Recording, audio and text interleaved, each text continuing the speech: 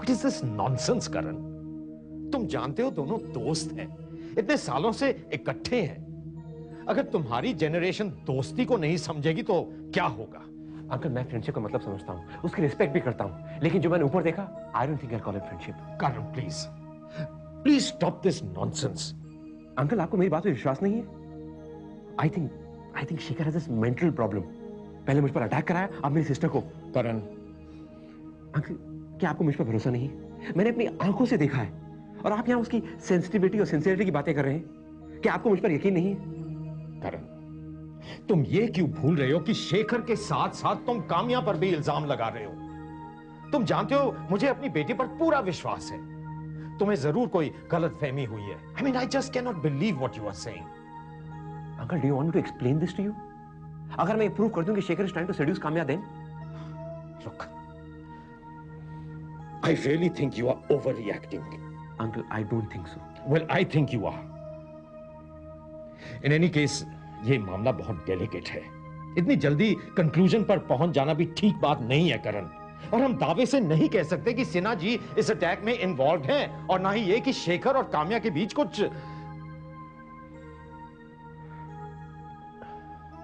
देखो मुझे लगता है इस मामले में सबसे पहले मुझे काम्या से बात कर लेनी चाहिए।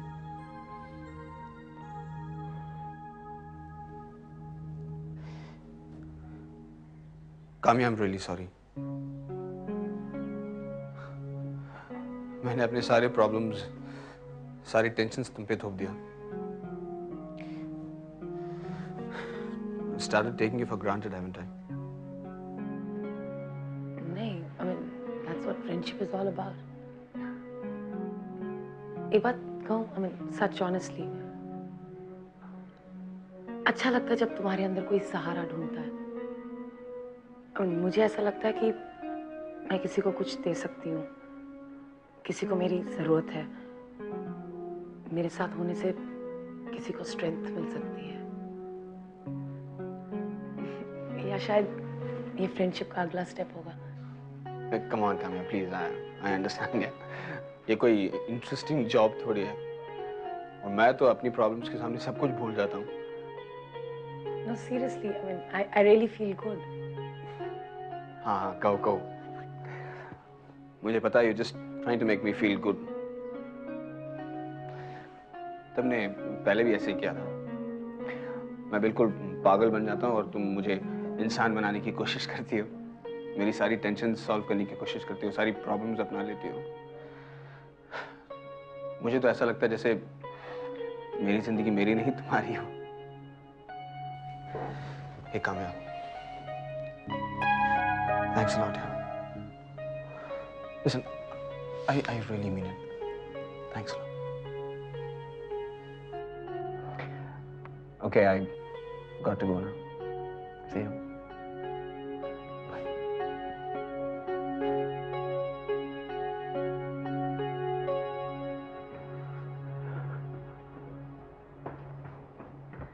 Leaving so early? Yeah, I've got some यार शेखर अटैक तो मुझ पर हुआ था। और तुम सारा वक्त काम्या के साथ ही बैठे रहे। हाँ वो तुम्हारे साथ वो कमिश्नर आए थे ना? हाँ। लेकिन तुम्हें कोई प्रॉब्लम नहीं होनी चाहिए क्योंकि वो तो सिर्फ़ मुजरिमों को पकड़ते हैं। और तुम्हारा चेहरा तो इतना इनोसेंट है कि तुम्हें पकड़ना तो दूर तुम पर शक भी नहीं किया जा सकता। शेखर शेखर बेटा हाउस योर फादर मैं तो पूछ ही नहीं पाया। अंकल वो बिल्कुल ठीक है। अच्छा मुझे जरा काम है मैं चलो will excuse me sure sure take care Shekhar अपना ख्याल रखना। Bye bye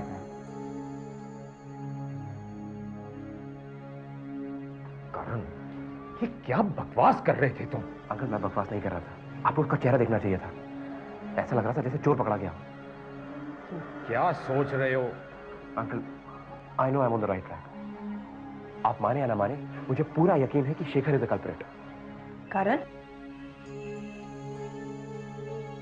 least think before you speak, yeah? Shekhar is not guilty, okay? वो तो बेचारा ये बताने आया था कि उसको अपने डैडी पर शक है। और उसे ये भी लग रहा है कि शगत नारायण जी भी इन्वॉल्व है।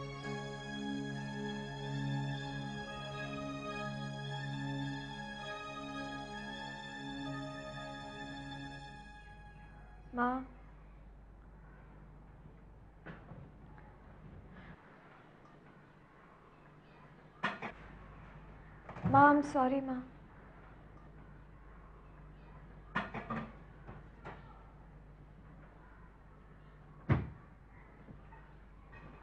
माँ प्लीज़ तुम मुझे डांटो। कुछ भी बोलो लेकिन प्लीज़ यू चुप मत रहो। आई एम सॉरी क्या कहूँ मैं? आई नो मुझसे बहुत बड़ी गलती हो गई। मैंने बाबूजी पे शक किया। सॉरी पता नहीं सुधा। हो सकता है तुम्हारा शक सही भी हो। क्या?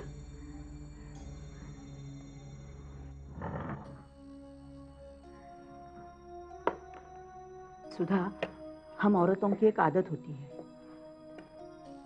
हम हमेशा अपने आदमियों की कमियाँ उनकी गलतियाँ ढकने की कोशिश करते रहते हैं।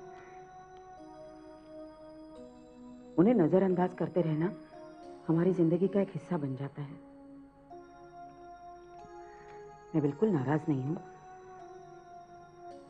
अगर तुम्हें अपने बाबूजी पर शक है तो उसकी वजह वो खुद भी है।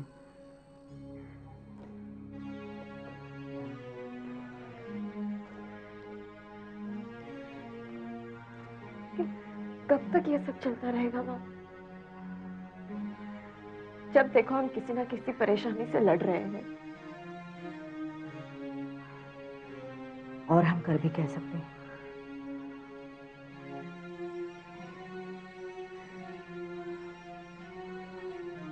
मैंने सोच लिया है, मैं क्या करूँगी? मैं अब करण से कभी नहीं मिलूँगी। और उससे क्या होगा?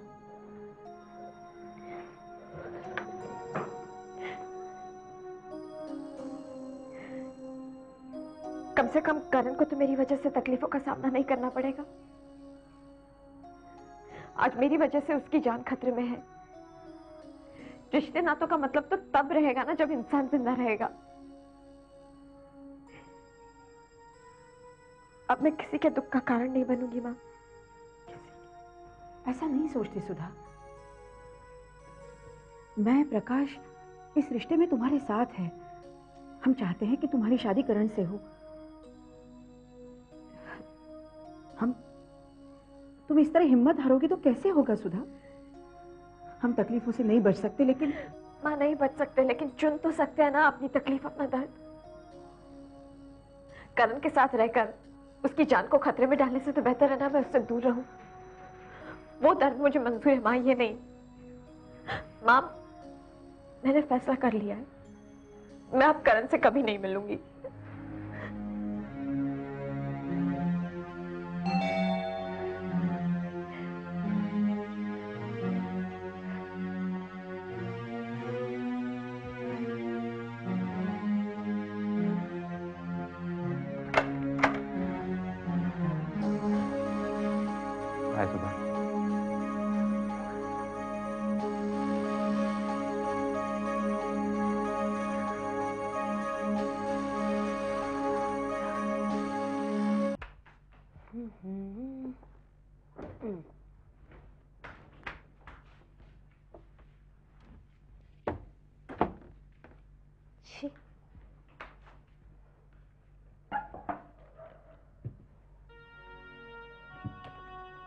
पापा?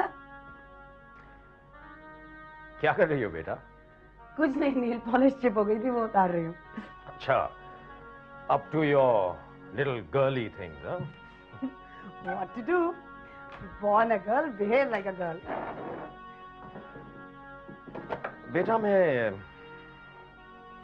मैं शेखर के बारे में सोच रहा था। हाँ पापा उसका तो बहुत बुरा वक्त चल रहा है। क्या वो तुमसे इसीलिए मिलने आया था। या। मगर शेखर तो बहुत शाय लड़का है। वो कभी ऐसे ही नहीं मिलने आता। आज आ गया। तो ये अचानक चेंज कैसे? पापा आप मुझसे सिर्फ़ एक सवाल पूछना चाहते हैं। फिर घुमा फिरा कर बातें क्यों कर रहे हैं? सीधे सीधे पूछे ना। कामया क्या तुम्हारा शेखर से अफेयर चल रहा है?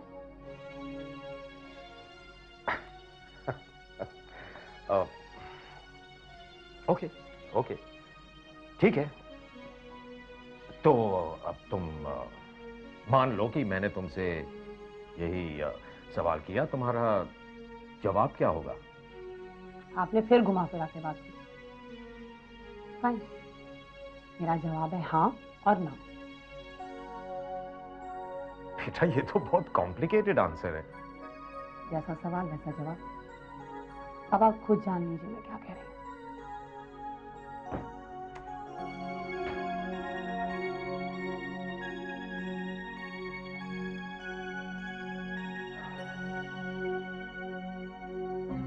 सुधा ये फैसला जो तुम ले रही हो तुम्हारे खुद का फैसला नहीं है। और तुम भी अच्छी तरह से जानती हो कि ये फैसला लेकर तुम खुश नहीं रह सकती। प्लीज़ करण यूँ हिम्मत हार कर डर कर करण हिम्मत हार कर नहीं। बहुत सोच समझ कर मैंने ये फैसला किया है। मुझे मुझे अपनी खुशियों के अलावा दूसरों के बारे में भी तो सोचना है। कई सारी ज़िंदगी और उनके इंटरेस्ट भी तो इसमें इन्वॉल्व है।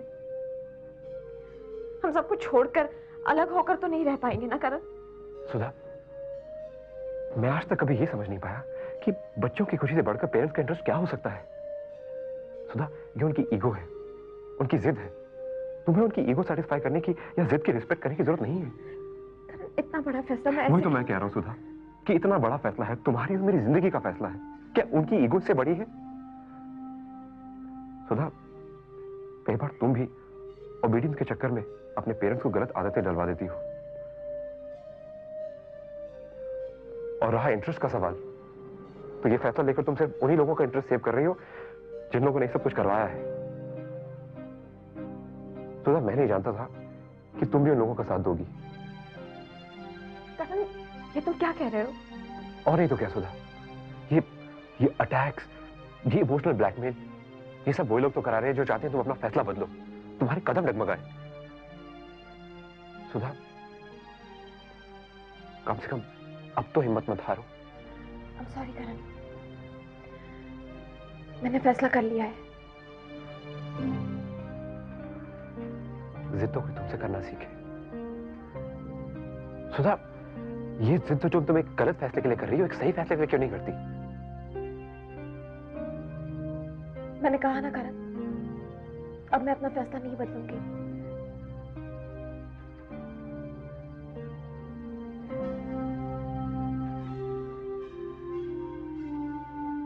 जगत नारायण जी की बेटी हो ना। कुछ उनकी क्वालिटीज तुम्हें भी होंगी। चाहे अगला जिए या मरे।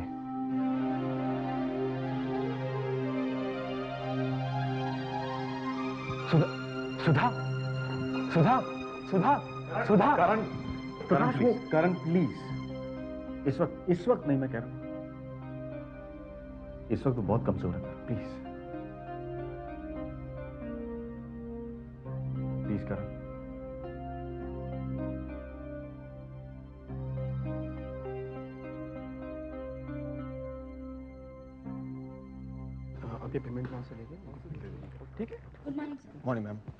good morning good morning sir अरे आप अब तक गए नहीं? मैंने कहा था ना कि मैं आपका चेहरा नहीं दिखना चाहता। सर मैं जा ही रहा था लेकिन जाने के पहले जो सिन्हा साहब ने इंस्ट्रक्शन दिए वो तो आपको देके जाऊँ ना? क्या इंस्ट्रक्शन सर उन्होंने आपको कुछ देने के लिए कहा है। कमाल हाँ, सर। उनको क्या लगता है कि अभी मैं उनके छोटे छोटे तोहफों से इम्प्रेस हो जाऊँगा? हाँ? क्या है? सर ये चाबी उन्होंने आपको देने के लिए कहा है। उनके केबिन की चाबी। और उनकी इच्छा है कि आप उनके केबिन में बैठे, उनकी कुर्सी पर। नहीं नहीं नहीं नहीं नहीं नहीं नहीं अरे, मेरी हैसियत ही कहाँ कि मैं उनके कैबिन में बैठ सकूँ? देखिए, वो क्या कि आप नहीं जानते। उन्होंने उस कैबिन में बैठने के लिए बहुत सारा परिश्रम किया है, बहुत सारा हार्ड वर्क किया है, ढेर सारी कुर्बानियाँ दी हैं और ढेर सारे कॉम्प्रोमाइजेस किए हैं, जो मैं कर ही नहीं सकता। नहीं, वो क्या है कि मैं इस काबिल हूँ ही नहीं कि मैं अपनी ईमान बेच सकूँ ना? क्या करूँ? आई एम रियली सॉरी मैं अपनी छोटी सी कैबिन में बिल्कुल खुश हूँ। आप एक काम कीजिए, आप यहाँ से दफ़ा हो जाइए और साथ में ये चाबी ले जाइए।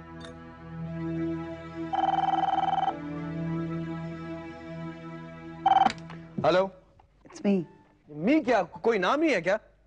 ये कमॉन नाम है काम्या बोल रही हूँ। काम्या? क्या यार आई एम रियली सॉरी मैंने सोचा कि ओ वाओ तुमने भी सोचना शुरू कर दिया। ग्रेट वैसे तुम्हारे जाने के बाद पापा भी बहुत कुछ सोच रहे थे। क्या? अब यही कि कहीं तुम्हारा और मेरा कोई चक्कर तो नहीं चल रहा। क्या? फिर तुमने क्या कहा? तुम बताओ मुझे क्या कहना चाहिए था? व्हाट शुड से मतलब क्या कहो कि शक करना बंद करें? कमाल है यार। एक तरफ़ करण मुझ पे शक कर रहा है और दूसरी तरफ़ तुम्हारे पापा तुम पे शक कर रहे हैं। उनसे कहो कि भैया इन सब बातों को सीरियसली ना ले। अच्छा शेखर अगर मैं सीरियसली लेना चाहूँ तो? क्या मतलब? कुछ नहीं।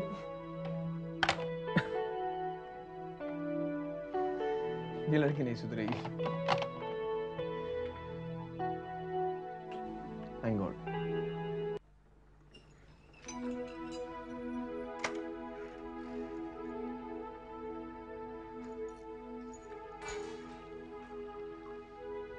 हाय करण चाय पियोगे क्या बात है तुम फिर मुँह लटका के बैठे हो Why you always so depressed? I don't understand. What is it? कुछ नहीं यार I'm, your your friend just leaves me very confused यार I am just I'm just sick and tired समझ नहीं आता यार। तुम्हें अब ये सब चीज़ें ध्यान में आ रही हैं हाँ? मैं तुम्हें कितने टाइम से कह रही हूँ वो ऐसी है। अरे जिसे खुद नहीं पता उसके साथ क्या हो रहा हो। I mean, she's so confused herself. देखो कर मेरी बात मानो। तुम एक काम करो। तुम जब तक उसके पीछे जाते रहोगे ना वो भागती रहेगी। तुम उसके पीछे जाना छोड़ दो। Once she realizes that you're not interested अपने आप तुम्हारे पीछे आएगी। प्लीज़ तुम मुझे और कंफ्यूज मत करो। कंफ्यूज ना कर रही हूँ मैं तुम्हें? और वैसे भी कंफ्यूजन की बात आती कहाँ पर है? पूरा का पूरा फोकस इस वक्त सुधा पर है। And that's what she likes अच्छा। और इस बीच अगर सिन्हा जी ये डिसाइड कर लें कि अपने बेटे की ख्वाहिश पूरी करेंगे तो? सुधा तो अपने पेरेंट्स को अनाय कराना नहीं चाहती। इस पूरे चक्कर में सिन्हा जी को एक उम्मीद की किरण नज़र आई तो? डोंट वरी सिन्हा अंकल अब शेखर को सुधा पर नहीं थोपेंगे।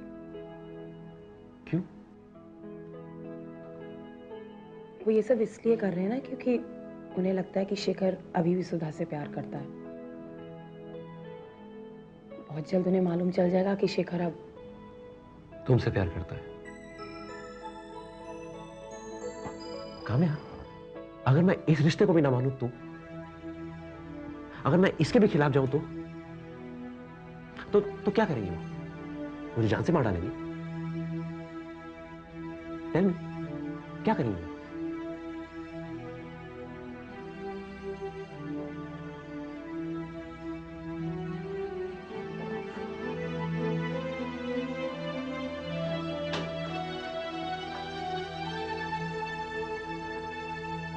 साला आज फिर सुधा से मिलने गया था। आप बोलिए तो सही। उसकी एक बार फिर मरम्मत कर देते हैं। नहीं। बार बार एक ही हथकंडा इस्तेमाल नहीं करना चाहिए। अब तो लगता है मुझे कुछ और ही करना होगा। पर उस करण को सुधा से मिलने से रोकना होगा।